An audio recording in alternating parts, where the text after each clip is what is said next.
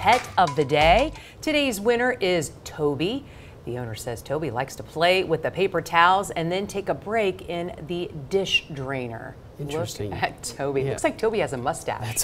That's what I was getting ready to say. a little too. goatee. Yeah, so you can see the uh, paper towel messed up. I mean, Oh, yeah, boy. Toby's got a spot. Well, that's listen, for sure. listen to this. We have a cat named George. It's all orange.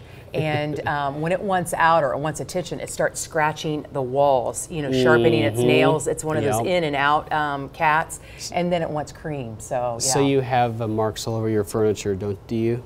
I just on the wall. Just on the one just on the certain wall. Interesting, Yes, yes. It's a wood wall, and darn it, that we yell at it. We, we throw things at it, and I'm sorry.